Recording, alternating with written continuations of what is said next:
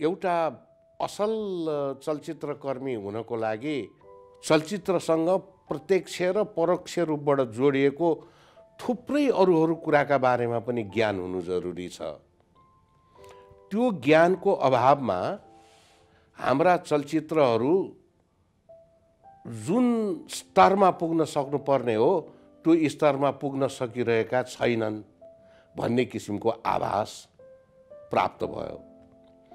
त्यसलाई मेट्नको लागि के गर्नु पर्यो त? विचार विमर्श भयो साथीहरूसँग छलफल भयो। त्यसका लागि हामीले देख्यौँ एउटा असल चलचित्रकर्मी हुनका लागि उसमा भाषाको ज्ञान हुनु पर्यो इतिहासको ज्ञान हुनु पर्यो संस्कृतिको ज्ञान हुनु पर्यो एन्थ्रोपोलोजी सोसियोलोजी अब विभिन्न यावत कुराहरू जो यस्तो नजिकबाट चलचित्रसँग चाहिँ सम्बन्ध राख्दछन्। त्यसका बारेमा पनि ज्ञान हुनु पर्छ पर्छ। एउटा राम्रो चलचित्रकर्मी हुनका लागि। र यी सबै कुरामा आवश्यक मात्रामा ज्ञान आर्जन गरिसकेपछि चलचित्र बनाउने कला यसको प्राविधिक पक्ष त्यसको बारेमा पनि ज्ञान हासिल गरे गरेर यो दुईटा कुरालाई तुलनात्मक रूपले ब्यालेन्स्ड किसिमबाट ब्लेन्डिङ गर्न सक्नु सक्यौँ भने मिसाउन एकअर्कासँग मिसाउन सक्यौँ भने हामी चाहिँ बेटर चलचित्र निर्माण गर्न सक्छौँ कि भन्ने हामी निष्कर्षमा पुग्यौँ। र त्यसको लागि के गर्नु पर्यो त? भनेर चाहिँ अब छलफल गर्दाखेरि अध्ययन गर्ने थलोको विकास गर्नु पर्यो भन्ने हाम्रो पहिलो रोजाइमा पर्यो। थुप्रै युनिभर्सिटीहरूबाट सम्बन्धनका लागि कुराकानी अगाडि बढे पनि अरू अरू युनिभर्सिटीहरूसँग पनि। तर अब गर्नु नै छ भनेदेखि नेपालको सबैभन्दा जेठो युनिभर्सिटी त्रिभुवन युनिभर्सिटीसँग नै सम्बन्धन प्राप्त गरेर यो विषयमा चाहिँ अगाडि बढाउँ न त भनेर हामी चाहिँ प्रयत्न गर्न थाल्यौँ। तिन वर्ष लाग्यो। यसको सेलिबस बनाउनका लागि त्रिभुवन विश्वविद्यालयको त्यति बेलाको व्यवस्थापन पक्षलाई यो कुरा बुझाउनको लागि र त्यहाँको मानविकी सम्कायका मानिसहरूलाई कन्भिन्स गर्नको लागि र एकजना मानिसको त म मैले केही गरी उल्लेख गरिनँ भनेदेखि यो कथा अपुरो ठहरिन्छ त्यो भनेको डाक्टर त्रिरत्नमानन्द जो आफै पनि एकजना चाहिँ सिद्धहस्त इतिहासकार हुनुहुन्थ्यो र कुनै पनि पेसामा अध्ययन र अध्ययनशीलताको महत्त्व कुन मात्रामा हुन्छ भन्ने कुरा उहाँले राम्ररी बुझ्नुभएको थियो। त्यस कारणले उहाँले असाध्यै ठुलो सहयोग गर्नुभयो हामीलाई। झन्झन्डै तिन वर्ष साढे तिन वर्षको हाम्रो प्रयत्नपछि हामीले सम्बन्धन प्राप्त गऱ्यौँ। मैले त्यसको अध्यक्षता ग्रहण गरेँ। निमित्त प्रिन्सिपल भएर पनि मैले काम गरेँ र चाहिँ यही फिल्म इन्स्टिच्युटबाट पढेर आउनुभएका साथीहरूलाई मोटिभेट गरेर कलेज अफ फिल्म स्टडिज नाम गरेको चलचित्र कला पढाउने पहिलो चाहिँ विद्यालयको स्थापना भयो। मेरो काम स्थापना गर्ने मात्रै हो। कलेजमा पढाउने कलेजमा विद्यार्थीहरू भर्ना गर्ने कलेजको चाहिँ व्यवस्थापन राम्रोसँग चाहिँ चलाउने आदि इत्यादि कुरामा मसँग कुनै अनुभव थिएन। It's not my cup of tea के? मैले मैले गर्ने कुरो होइन। यस्तो कलेज छैन यस्तो कलेज हुनुपर्छ भन्ने कुरामा मात्र मेरो चाहिँ म चाहिँ पूर्ण सहमत थिएँ। भनेपछि एक प्रकारले कलेजको स्थापना भइसकेपछि मेरो भूमिका प्राय समाप्त भइसकेको थियो। अब त्यसलाई सञ्चालन त त्यही क्षेत्रका चाहिँ विज्ञहरूले आएर गर्ने हो। भनेपछि विज्ञहरूलाई जिम्मा लगाएर म चाहिँ एउटा साधारण सल्लाहकारको रोलमा मात्र सीमित भएर बसेको हुँ। यो कलेज अफ फिल्म स्टडिजको चाहिँ व्यवस्थापन परिवर्तन भइसकेपछि कलेज अफ फिल्म स्टडिजको नाम उहाँहरूले Oscar College of Film Studies भनेर राख्नुभयो। सुरुमा झन्डै झन्डै एकतिस बत्तिसजना विद्यार्थीहरू थिए। ती सबैले कोर्स कम्प्लिट गरेनन्। कोर्स कम्प्लिट गर्ने बेलामा छब्बिसजना कि सत्ताइसजना हुनुहुन्थ्यो। जसमध्येको एकजना त अहिले अस्कर कलेजको प्रिन्सिपल नै हुनुहुन्छ। एज अ स्टुडेन्ट चाहिँ मैले सुरु गरेँ निर्सा सरले चाहिँ त्यो कलेज सुरु गर्नुभयो। हामी थर्टी फर्स्ट कति एकतिसजना जति थियौँ होला। एकतिसजना थियौँ त्यहाँबाट घट्दै घट्दै पच्चिस छब्बिसजना भयो। अनि विभिन्न समस्याहरू आयो त्यो बेलामा क्यामराहरू थिएन अनि पढाउने टिचरहरू नआइदिने टिचर नपाइने अनि बिचमा आन्दोलन पनि भयो सानोतिनो। हामीले निर्सा सरलाई आफ्नो गुनासोहरू पोख्यौँ। टियुमा हामीले गएर कम्प्लेन पनि गऱ्यौँ। नेपालमा सिनेमा कलेजको भाइबिलिटी छैन रहेछ। तपाईँहरूले किन अफिलेसन दिनुभयो? दिइसकेपछि त्यसको इन्फ्रास्ट्रक्चर किन हेरिएन किन रिसोर्सेसहरू छ छैन भन्ने कुराहरू हेरिएन भन्ने कुराहरू हामीले मापदण्डको कुराहरू पनि गऱ्यौँ त्यहाँ गएर। तर टियु पनि बाध्य थियो किनभने अब नखोल्ने कलेज खुलिसकेको थियो। अब यसलाई कसरी प्रोग्रेसिभली लिएर जाने भन्ने कुरा चाहिँ टियुसँग पनि एउटा च्यालेन्ज थियो। तर टियुले खासै गर्न सक्ने कुरा चाहिँ केही पनि थिएन फेरि। सो निर्सा सरले जसरी तसरी हामीलाई कन्भिन्स गर्नुभयो अनि केही टिचरहरू ल्याउनु पनि भयो। हामी पास भएर गयौँ। म फेरि मास्टर गर्न युकेतिर गएँ। त्यति बेला पछि मैले सुने उहाँले कलेज फेरि बेच्नु भएछ। अर्को एक एउटा ग्रुपले फिल्म कलेज चलाउँछौँ भनेर। जो चाहिँ सिनेमाभन्दा धेरै बाहिरको ग्रुप भनौँ न उहाँहरूले चाहिँ कलेज किन्नु भएछ। एमबिए सकेर युकेबाट फर्केको हो। जब म फर्केँ त्यति बेला कलेजको हा स्थिति चाहिँ एकदमै नाजुक भइसकेको रहेछ। सधैँभरि आन्दोलन हुने अनि टिचरहरू पनि पढाउन नआइदिने एक त टिचर पनि कम टिचर नै थिएनन्। अनि एभ्रिडे आन्दोलन हुन्थ्यो। अनि क्याम्पस सिप पनि चेन्ज गरे गरे गर्नु हुँदो रहेछ हाम्रो यहाँको म्यानेजमेन्टले। अनि त्यति बेला म यहाँ सिनेमाको एक्टिङ पढाउँछु भनेर आएको थिएँ। उहाँहरूले मलाई बोलाउनु भयो एक्टिङ पढाइदिनुहोस् भनेर बोलाउनु भयो अनि एक्टिङ क्लासमा जब छिरेँ साह्रै दुःख लाग्यो मलाई। क्लासको स्थिति ठिक थिएन। विद्यार्थीहरू एकदमै नाजुक अवस्थामा थिए। उनीहरूले केही सिकिरहेको अवस्था चाहिँ थिएन। अनि जस्ट फी तिरिरहेछ आइरहेछ एटेन्डेन्स गरिरहेछ गइरहेछ। त्यति मात्रै भइरहेको रहेछ। अनि अरू फ्याकल्टीको क्लासहरू पनि लगभग लगभग त्यही अवस्थामै रहेछ। सबैजना यसो हेर्छु सबैजना दुखी दुखी देख्छु सबैजना फ्रस्ट्रेट देख्छु सब चिया पसलमा बसिरहेछ गफ गरिरहेछ चुरोट खाइरहेछ। केही पनि छैन माहौलै छैन त्यो कन्डिसन थियो। मलाई पनि आफैलाई पनि अब यसरी त पढाएर बस्नु हुँदैन भनेर म लगभग छोड्छु होला भनेर म निस्किन थालेको थिएँ। त्यसपछि यहाँको डक्टर टिकाराम पोखरेल जसले यो कलेजलाई म चलाउँछु भनेर लिनुभएको थियो। उहाँले ठुलो मेहनत चाहिँ गर्नुभएको छ फेरि। आफू सिनेमाको ब्याकग्राउन्ड नहुँदा नहुँदै पनि कलेजलाई एउटा लेभलमा लान्छु भनेर सोचेर आउनुभएको हो उहाँ चाहिँ।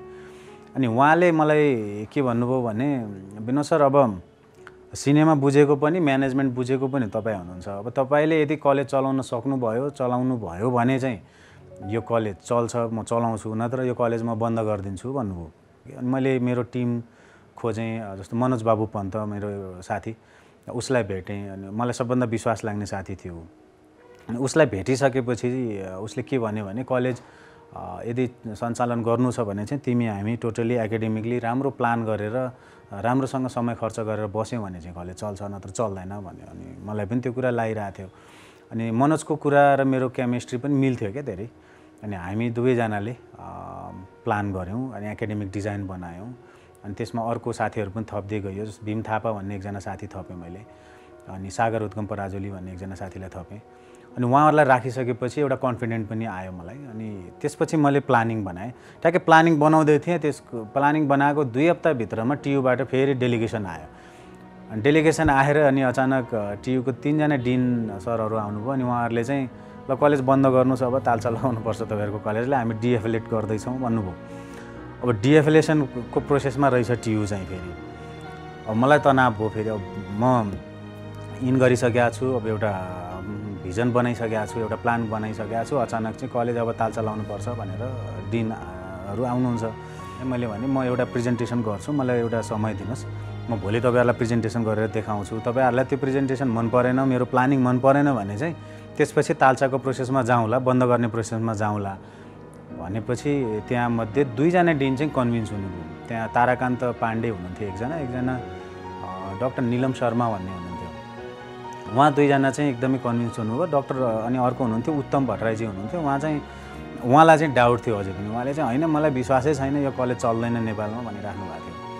त्यसपछि मैले एउटा प्रेजेन्टेसन बनाएँ अनि बनाएर उहाँहरूलाई त्यो प्लान मैले पेस गरेँ सब्मिट गरेँ। अनि उहाँहरू खुसी हुनुभयो इम्प्रेस पनि हुनुभयो। उहाँले के भन्नुभयो ठिक छ अब तपाईँ तपाईँ अब यङ मान्छे आउनु भएको छ धेरै भिजनहरू रहेछ चलाउनुहोस्। छ महिना टाइम दिन्छौँ।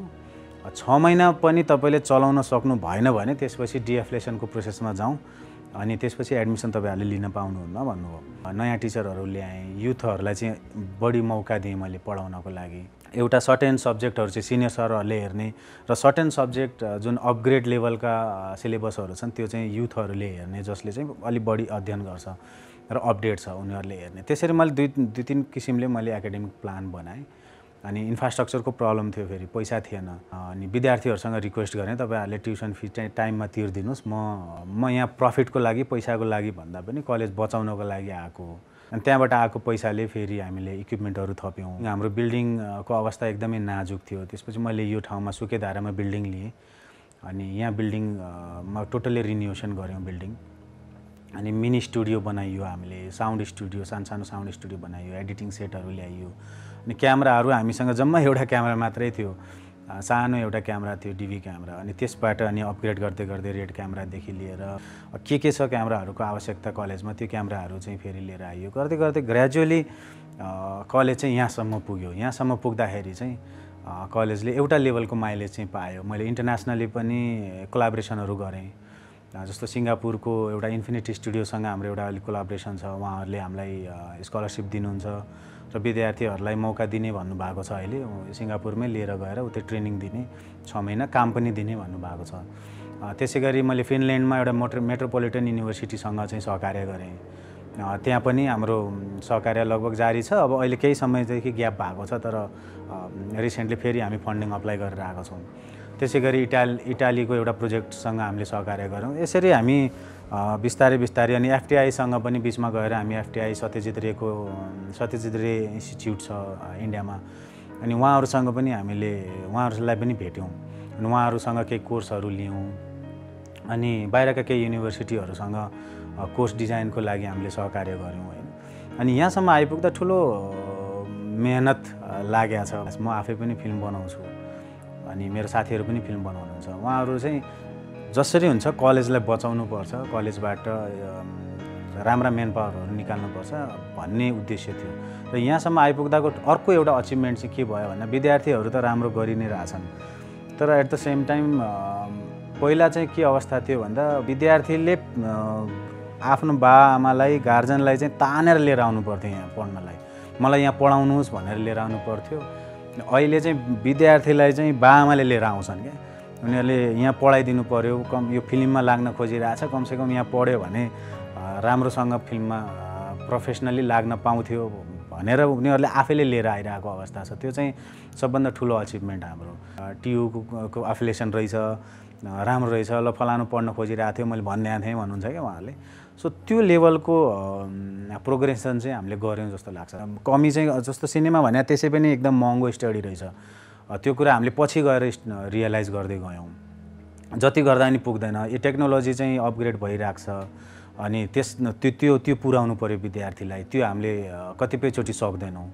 अनि टिचरहरू पनि उहाँहरूले पढाउ उहाँले पढाउनुहुन्छ पनि फिल्म पनि गर्नुहुन्छ अनि उहाँहरूले फिल्म गर्ने बेलामा यहाँ फेरि टिचर हुँदैन। अनि त्यति बेला चाहिँ हामीले म्यानेज गर्नुपर्ने हुन्छ कसरी म्यानेज गर्ने त्यो चाहिँ बडो समस्या जस्तो लाग्छ मलाई चाहिँ। गभर्मेन्टबाट पनि त्यो लेभलको डिप्लोमेट सपोर्ट चाहिँ छैन हामीलाई। अनि सिनेमा आर्ट नेपालमा त्यसले कति धेरै इम्प्याक्ट पार्न सक्छ इन्टरनेसनली हामी एकाडेमिकली कति जान जानुपर्छ भन्ने कुराको त्यो रियलाइजेसन चाहिँ सरकारमा छैन। जति बेला भूकम्प आयो भूकम्प आउँदाखेरि हामीले यहाँ बनाएको लगभग लगभग हामीले एक डेढ करोड खर्च गरेर बिल्डिङ बनाएका थियौँ। बिल्डिङ भत्कियो क्या टोटल्ली कल्याप्स भयो। कतिपय इक्विपमेन्टहरू हाम्रा के अरे डिस्ट्रोय भए थियो त्यो बेलामा। लगभग दुई वर्ष मैले ग्राउन्डमा पढाएको छु विद्यार्थीहरूलाई। तर सरकारबाट चाहिँ हामीलाई सपोर्ट त्यति बेला पनि भएन। एक रुपियाँ पनि सपोर्ट भएन। बरु उल्टो के भयो भने तपाईँको कलेज रिन्यू गर्नुपर्ने भयो भनेर ट्यु आयो एक दिन। रिन्यू भएको छैन भन्दै आयो। रिन्यूको सिस्टमै थिएन। अचानक रिन्यू गर्ने सिस्टम आएछ। अनि रिन्यूको लागि पनि पैसा पे गर्नुपर्ने। हामीसँग त्यति बेला पैसाको भयङ्कर प्रब्लम भइरहेको थियो फेरि भूकम्पपछि।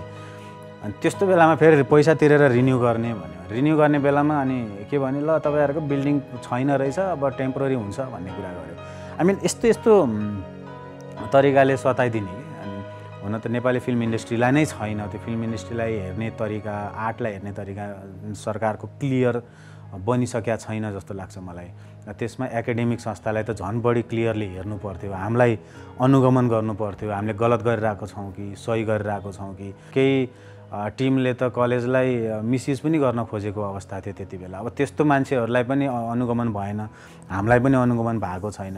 हामीले चाहिँ हामीलाई हेरियोस् भन्ने चाहन्छौँ कि अझै पनि। हामीलाई सु हामीले गल्ती गरिरहेका छौँ भने सुधारियोस् र सपोर्ट हुने ठाउँमा सपोर्ट गरियोस्। त्यो कुरा चाहन्छौँ। त्यो कुरा चाहिँ सरकारबाट भएन। तर एट द सेम टाइम हामीले प्राइभेटली गर्ने काम चाहिँ फेरि हामीले आफूले गर्न सक्ने कुराहरू गरेका छौँ। म आफै पनि कहिले युरोप अमेरिका घुमिरहेको छु युनिभर्सिटीहरूमा जान्छु फिल्म कलेजहरूमा जान्छु। हाम्रा साथीहरू पनि जानुहुन्छ अनि हामीले केही नयाँ कुराहरू भेट्दा बित्तिकै यहाँ लिएर आउँछौँ अनि हामीले विद्यार्थीहरूलाई अपडेट गर्छौँ। त तिन वर्ष ब्याचलर थियो अहिले हामीले चार वर्षमा लग्यौँ अनि कोर्स पनि नयाँ बनायौँ। हामीलाई कता कता बिचमा कोर्स पनि पुरानो भएको अवस्था फिल भयो कि। र विद्यार्थीहरू पास आउट भएको छ अनि इन्डस्ट्रीसँग पनि ब्रिजिङ भइरहेको थिएन। इन्डस्ट्री एकातिर छ हाम्रो विद्यार्थी अर्कोतिर छ अनि कहिलेकाहीँ एटिट्युड पनि आइदिने विद्यार्थीमा होइन? अनि त्यो दुइटै कुरालाई जोड्न भयङ्कर गाह्रो भयो क्या हामीलाई। अनि त्यसको लागि हामीले सिलेबस पनि त्यही किसिमले डिजाइन गर्नुपर्छ भन्ने भयो।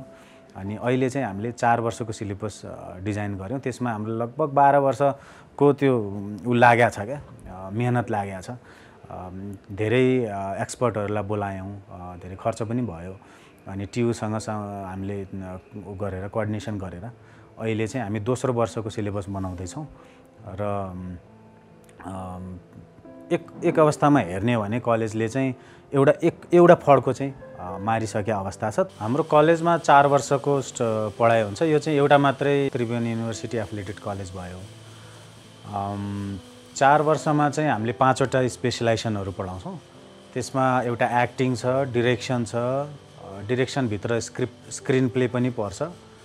एडिटिङ छ फिल्म एडिटिङ सिनेमेटोग्राफी छ र साउन्ड डिजाइनरलाई हामीले साउन्ड डिजाइन भन्छौँ साउन्ड डिजाइन छ। सो पाँचवटा स्पेसलाइजेसन छ। त्यो पाँचवटा स्पेलाइ स्पेसलाइजेसनमा पहिलो वर्ष सबै विषयहरू पढ्नुपर्ने हुन्छ।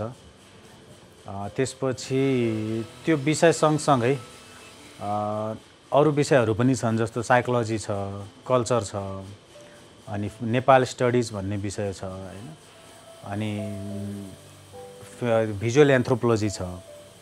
यी विषयहरू चाहिँ हामीले फर्स्ट इयरमा चाहिँ पहिला पढाउँछौँ। फर्स्ट इयरमा सबै विषयहरूको थियो थ्योरिटिकल प्लस हिस्टोरिकल अध्ययनहरू गरिसकेपछि विथ प्र्याक्टिकल सेकेन्ड इयरमा गएपछि स्टुडेन्ट्सहरूले स्पेसलाइजेसन चुज गर्न पाउँछ।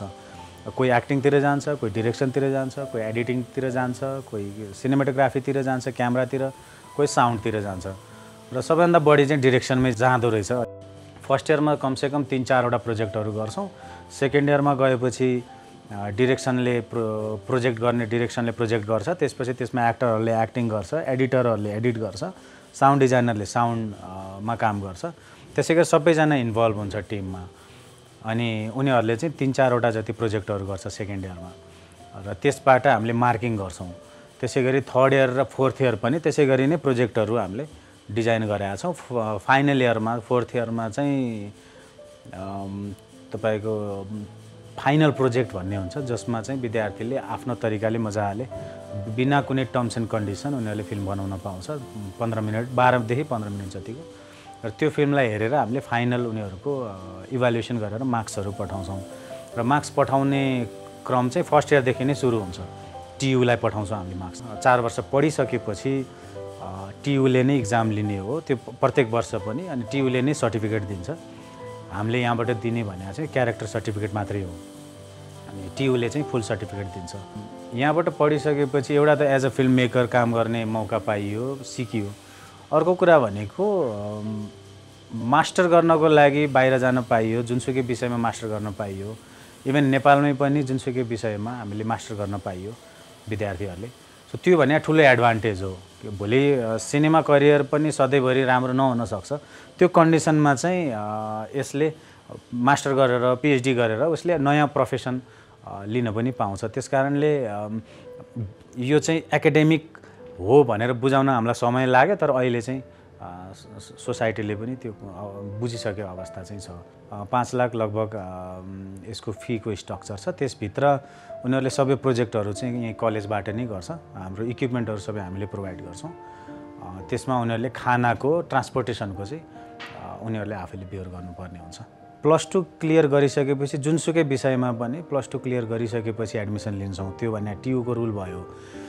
कलेजमा यहाँ आइसकेपछि पहिला सुरुमा फर्म भर्छौँ। फर्ममा हामीले उसको धेरै डिटेलहरू लिन्छौँ उसको प्रोफाइलहरू उसले पहिला के काम गरेको छ अथवा अरू कुनै केही विषयवस्तुमा पनि उसको जानकारी छ कि अब ड्रग्स खान्छ खाँदैन सिगरेट यी सबै कुराहरू इभ्यालुएसन गर्छौँ पहिला सुरुमा। त्यसपछि हामीले इन्टरभ्यू इन्टरभ्यूभन्दा अगाडि हामीले थ्योरिटिकल इक्जाम लिन्छौँ उसको।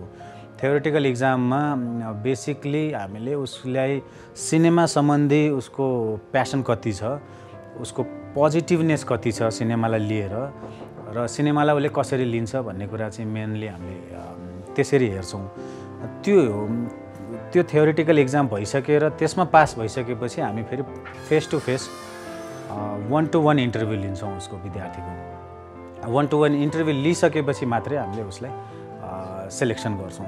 अर्को कुरा चाहिँ सबभन्दा इम्पोर्टेन्ट कुरा भनेको हामीले कमसेकम नाइन्टी पर्सेन्ट एटेन्डेन्स चाहिँ हुनैपर्छ। भन्ने हाम्रो मान्यता छ तर नाइन्टी पर्सेन्ट एटेन्डेन्स छैन भने पनि हामीले उसको मार्क्सहरू ट्युमा नपठाउने भनेर उससँग त्यो सिग्नेचर नै गराएका छौँ। सो एउटा त्यो कुरा।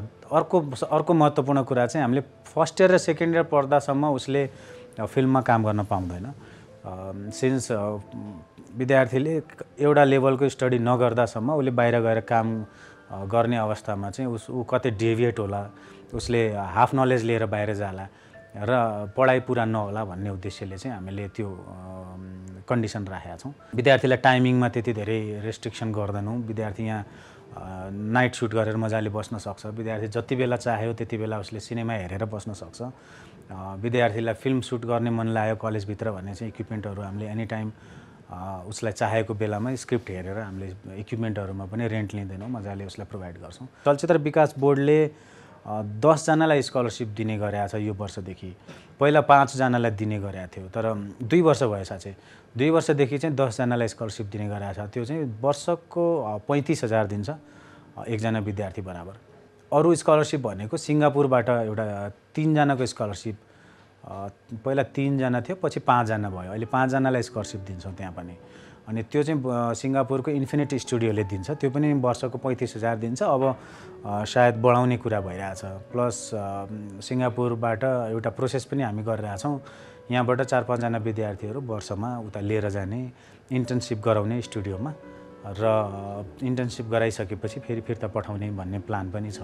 अहिले चौधौँ ब्याच चलिरहेछ हाम्रो। अनि विद्यार्थीहरू चाहिँ लगभग लगभग पाँच सयभन्दा हजारभन्दा बढी विद्यार्थी हामीले उत्पादन गरिसक्यौँ। त्यसमध्ये धेरैजना विद्यार्थीहरू चाहिँ बाहिर गएर मास्टर गरेर आएको अवस्था छ।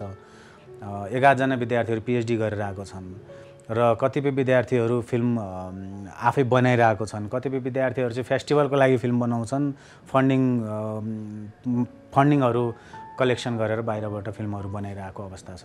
र कतै चाहिँ विद्यार्थीहरू चाहिँ असिस्ट गरिरहेको छ इन्डस्ट्रीमा गएर र उनीहरू चाहिँ अब चाहिँ बिस्तारै त्यो एज अ फिल्म मेकर आफ्नो एउटा पहिचान बनाउने क्रममा छन् जस्तै हाम्रो एक्टरहरू कतिपय एक्टरहरूले अहिले भर्खरै फिल्महरू गरिरहेको अवस्था छ। सो सिनेमामा हाम्रो एउटा जहिले पनि के के कुरा रह्यो भने उनीहरूलाई भन्ने चाहिँ यहाँबाट पास आउट हुँदा बित्तिकै म फिल्म मेकर बन्छु भनेर नजाऊ। त्यो बनिँदैन पनि एउटा मेकर बन्नको लागि एउटा डिरेक्टर बन्नको लागि एक्टर बन्नको लागि ठुलो साधना चाहिन्छ ठुलो अध्ययन चाहिन्छ। यहाँबाट किताब पढ्दैमा प्र्याक्टिकल दुई चारवटा प्र्याक्टिकल गर्दैमा मात्रै पुग्दैन। यो चाहिँ यसले चाहिँ राम्रो बेस बनाउँछ। त्यो बेसलाई टेकेर कमसेकम सात आठ वर्ष चाहिँ त्यो स्ट्रगल चाहिँ गर्नुपर्छ क्या। त्यो स्ट्रगल चाहिँ इन्डस्ट्रीमै गएर गर्नुपर्छ। अनि मात्रै मान्छे पाक्छ एज अ फिल्म मेकर अनि त्यो पाकिसकेको मेकरले चाहिँ गर्ने काम पनि फेरि पाकेको हुन्छ मिठो हुन्छ राम्रो हुन्छ र टिकाउ हुन्छ। त्यस कारणले पनि विद्यार्थीहरू हाम्रो विद्यार्थीहरू त्यति धेरै हतार गरिरहेको चाहिँ छैन।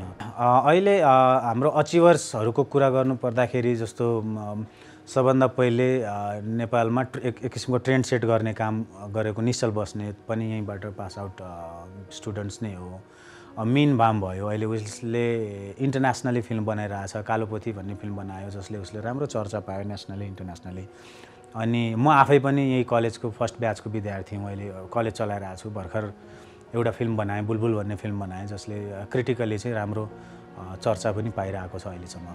अनि जस जोएस पाण्डे भन्ने एकजना विद्यार्थी मसँगै पढेको साँगुरो भन्ने फिल्मबाट राम्रै नाम कमायो उसले पनि। त्यसै गरी आरके पोखरेल भन्ने छ उसले अहिले राम्रै इन्टरनेसनल कम्पनीजहरूलाई नेपालमा लिएर आउने फिल्महरू बनाउने र फिल्म प्रड्युस पनि गर्ने गर्छ। अनि एक्टरहरूमा राजवल्लभ कोइराला थियो उसले फिल्महरू गरिरहेको थियो राम्रै फिल्म गरिरहेको थियो तर बिचमा चाहिँ ऊ युएस गइरहेको छ अहिले। महेश त्रिपाठी भन्ने एकजना विद्यार्थी एज एन एक्टर आइरहेको छ चपली आइट थ्री तिनमा मनिष रावत भन्ने प्रेम गीत तिनमा आइरहेछ।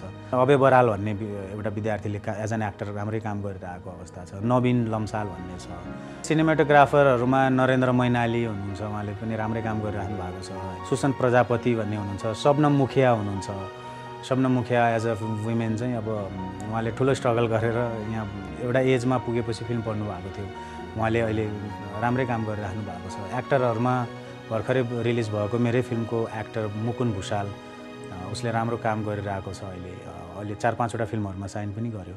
लुटको बेला सुशील पाण्डे भन्ने एक्टर आएको थियो। उसले अहिले पनि काम गरिरहेको अवस्था छ। So there are so many students जसले चाहिँ एउटा राम्रो इम्प्याक्ट पारिरहेको अवस्था छ। अहिले बिचमा कतिपय स्टुडेन्ट्सहरूले फन्डिङमा काम गरिरहेको छन्। फन्डिङ बाहिरबाट फन्डिङ अप्लाई गरेर सर्ट फिल्महरू बनाइरहेको अवस्था पनि छ। हाम्रो आसमा पोखरेल भन्ने कलेजमै इन्भल्भ छ। उसले बिचमा राम्रो फन्डिङ ल्याएर डकुमेन्ट्रीहरूमा काम गर्यो बाहिर गइरहेको छ। स्टुडेन्ट्स अङ्कित पौडेल जसले चाहिँ सनडान्समा फिल्म सेलेक्सन भयो उसको पार्टिसिपेसन भयो। अनुप पौडेलले चाहिँ यहाँबाट संसारबाटै फिल्महरू सेलेक्सनमा परेका थिए तर नेपालबाट उसले जितेको थियो। हिलरी क्लिन्टनले उहाँलाई अब उसलाई उसलाई अवार्ड पनि गर्यो। हाम्रा स्टुडेन्ट स्टुडेन्ट्सहरू यहाँबाट निस्किन चाहिँ निस्किने तर सधैँभरि बेरोजगार भइदिने हो कि भन्ने एउटा डर क्या हामीलाई। अनि त्यो बेरोजगारीको डर प्लेटफर्म अझै पनि डेभलप नभइसकेको डरले गर्दाखेरि चाहिँ कता कता अब हामीले पनि त्यसभित्र हात हाल्नुपर्छ। कलेजले पनि फिल्म मेकिङ गर्नुपर्छ फिल्म प्रोडक्सन गर्नुपर्छ कलेजले भन्ने एउटा सोच आएको छ। इन्टरनेसनली इन्टरनेसनल स्टुडेन्ट्सहरू पनि हामीले भित्राउनुपर्छ इन्टरनेसनल रिसोर्सेसहरू पढाउने लेक्चररहरू टिचरहरू चाहिँ भित्राउनुपर्छ भन्ने मान्यता राखेका छौँ। त्यसअनुसार पनि हामीले काम गरिरहेको छौँ जसमा हामीले बाहिरका विद्यार्थीहरूलाई इन्डियाको बङ्गलादेशको जुन विद्यार्थीहरू हाम्रो बोर्डरको विद्यार्थीहरू छन् ती विद्यार्थीहरूलाई पनि फिल्म पढ्न चाहनेहरूलाई नेपालमा सस्तो पनि छ यहाँको बसाइ पनि सस्तो छ र फी पनि सस्तो हुन्छ। त्यो हिसाबले चाहिँ हामीले त्यो इन्टरनेसनल विद्यार्थी चाहिँ यहाँ भित्राउन सक्छौँ भन्ने आशा राखेका छौँ र त्यसमा पनि वर्कआउट भइरहेको छ। र अर्को भनेको अहिले छिटै पाँच वर्ष योजनामा पर्ने चाहिँ हामीले master master in cinema making भन्ने सिनेमा स्टडिज भनेर एउटा खोल एफिलेसन लिने उसमा छौँ प्रोसेसमा छौँ। जुन चाहिँ नेपालमा अहिले हाम्रो विद्यार्थीहरूलाई पनि मास्टर सिनेमामा गर्ने मन लागिरहेको हुन्छ तर बाहिर गएर पढ्नलाई धेरै महँगो छ। त्यस कारण हामीले आफैले मास्टरको स्टडी यहाँ प्रोभाइड गर्न सक्यौँ भने त्यसले चाहिँ राम्रो मेन पावर जन्माउँछ भन्ने सोचले पनि मास्टर डिग्री पनि हामीले यहीँ टियुकै एफिलेसनमा